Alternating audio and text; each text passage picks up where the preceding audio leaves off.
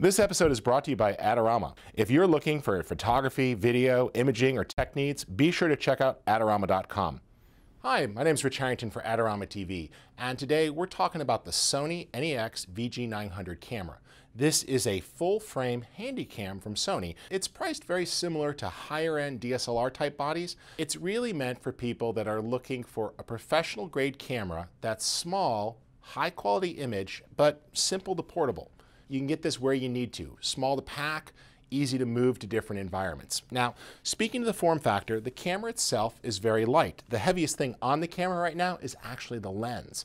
But the camera body itself comes in at about 1.8 pounds. Now, let's just remove the lens here for a second, and I'll just pop this off from the mount. There we go and very, very light. Now, this is going to be easy to put into a pack if you need to take it out for field work, a carry-on bag, a small backpack. This is not a bulky camera to take into the field. The other nice thing is it's light enough that you could easily put it on something like a monopod. Now, let's talk about the camera itself, the sensor and the lenses. You've got really a lot of flexibility. You could put both E-mount and A-mount lenses on here, which are Sony's type of lenses. It does include the LA EA3 adapter, and this comes in the kit. Let's just remove it for a second. And I push that button, and you see the lens adapter comes off. So with this lens adapter, I can go ahead and mount the A lenses or the E lenses. It gives me that flexibility, but we'll just put that adapter back on and connect the lens. There we go. And it locks into place. So a lot of flexibility. This is a full frame sensor. It does allow for 35 millimeter style capture. The sensor in here, huge, 24 megapixels when shooting stills, and it really is a full size sensor. So you get that great shallow depth of field. Most video cameras are going to have crop sensors or APS type sensors, which really minimizes the ability to shoot wide open with shallow depth of field and it cuts down on the low light performance. This camera with a full frame sensor is giving you that great control over shallow depth of field. It really lets you do that distinctive defocusing that's very popular with this type of shooting. It also is going to be outstanding in low light situations. So you shoot concerts, nighttime, sports, those sorts of activities, this is going to be a great camera for that. All right, let's talk a little bit about the viewfinder and the LCD. You've got a nice articulating viewfinder here. And what happens is, is when I put this up to my eye, it's going to go ahead and turn on, which is great. Now, this means that it's not going to be pulling battery power until you actually position the eye. There's just a little sensor in here and it detects when the light's been blocked out and it kicks it on. It's nice that you can adjust this. So if you're shooting on a tripod or in different positions from shooting up at eye level, cradling the camera down, it gives me that flexibility and it really has a good swivel display there. Speaking of swivel, we have the same thing here on the actual LCD. So what this is going to give us is the ability here to adjust. And you'll notice that it turns all the way to facing backwards. So if you were putting the camera on a tripod and speaking into yourself, you can use this. Perhaps the world's largest and highest quality web camera in that mode. But you can also, of course, turn this and articulate it to any direction turning a full 270 degrees. This gives me the flexibility for shooting overhead. I can actually see that and point the LCD panel at me or flipping it over and cradling for shooting down low. All of this gives me greater flexibility and it's nice to have that full 270 degrees rotation.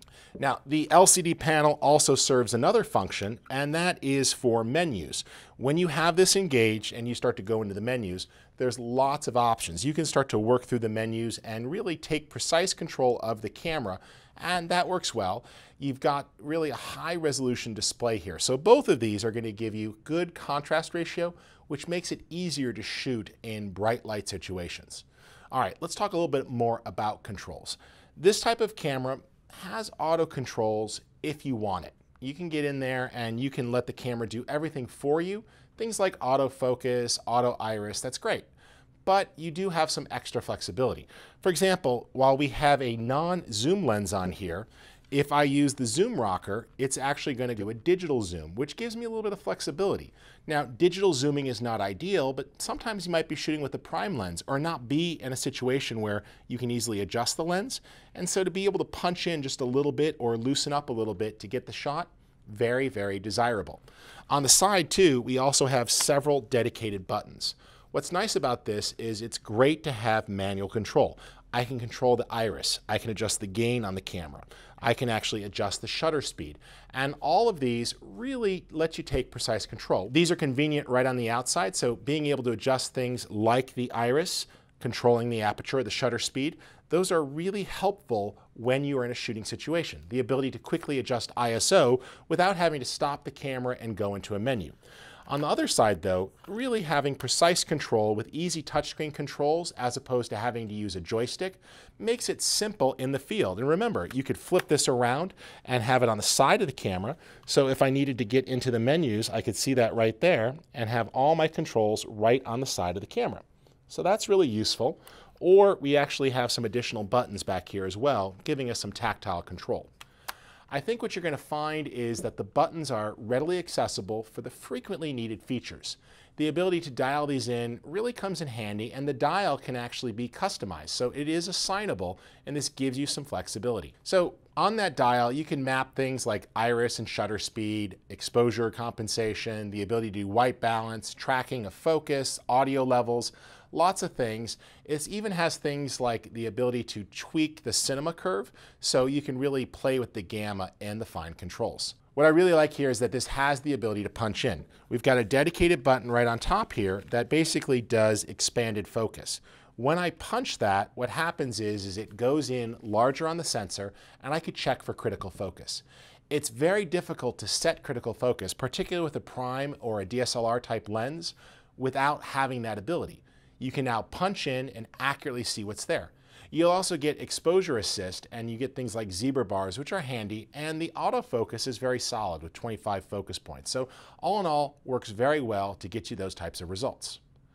Let's talk about the file formats. This is one area that the camera stood out for me. I've got six different data rates that I could record at, which is nice. They range from 28 to 9 megabytes per second. This is really good for most users. Now, at the high end, you can do 28, and this is designed for really good HD shooting. This is pushing this up into the realm of top professional cameras. But then there are other types of HD rates ranging from 24 to 17, and even a high quality mode at 9. And this is going to work very well for lots of standard shooting, industrials, web video content. If you are really pinched for space, you will find other ones, a long play mode to let you get more recording, and some other standard definition modes for shooting in high quality. This does shoot to the very robust AVC HD file format, which is widely used in professional circles. This can be easily edited with tools like Final Cut Pro 10 or Adobe Premiere Pro or Avid. You can integrate that material in very seamlessly, often these days without the need to transcode. And it also supports very professional frame rates. You could do your standard definition type frame rates, but what I like in HD, 24p, 60p, or 60i. Now the 60i is going to be very useful for people essentially doing what was often called 30 frames per second in standard definition workflow. So you really have 24, 30, and 60. But having that choice is nice. Most DSLRs leave that out. As far as memory cards go, a lot of flexibility. If you're a Sony user, you could stick with the Memory Stick Pro, and that's going to work for you, or the Duo formats. But for most users, the more common SDHC and SDXC card formats are going to work quite well. I think you're going to find that this is going to give you a lot of flexibility when shooting, and the memory cards are readily available. You're not locked into some proprietary system that you have to go out and get. Now, let's talk a little bit about audio.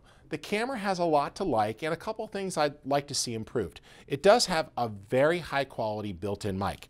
It actually is a 5.1 surround sound mic, which is cool, and it has the ability to record true surround sound. So if you're traveling to exotic destinations and you want to get great environmental audio, you absolutely can do that with this built-in mic. If you're shooting things like dialogue, then you're going to go into one of the jacks, and we actually have several ports on the camera, making it easy to run audio in.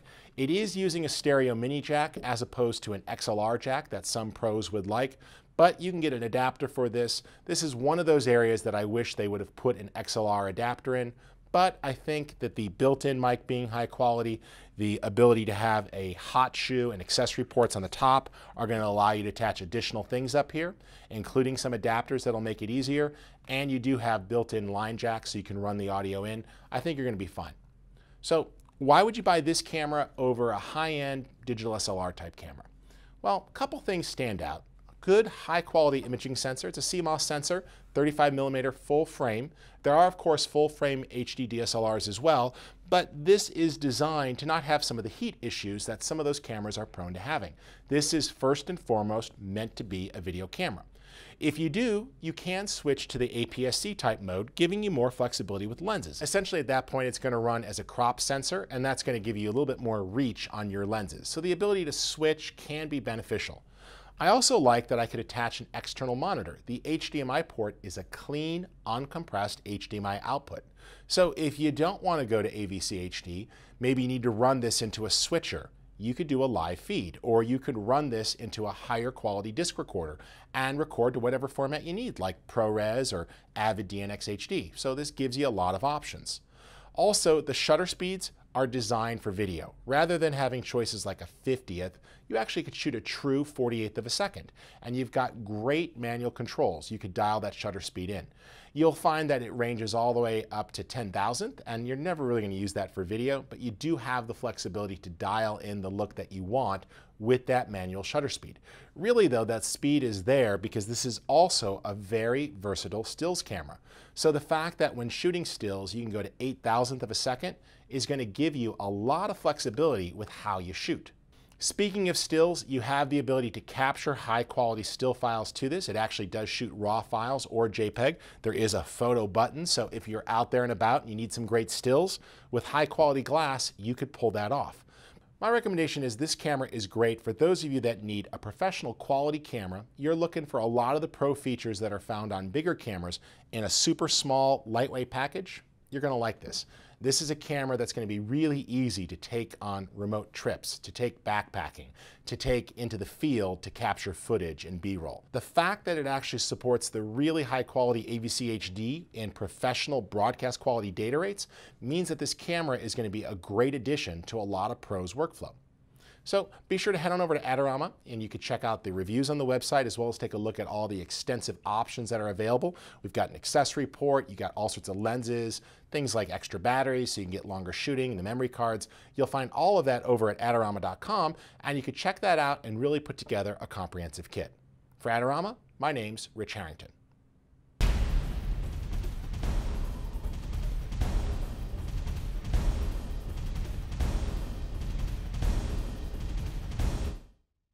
For all the latest photography, video, and computer gear, visit Adorama.com. Place your order by 8 p.m. and it ships the same day. Plus, next time you're in New York City, be sure to visit our store located on 18th Street between 5th and 6th Avenue.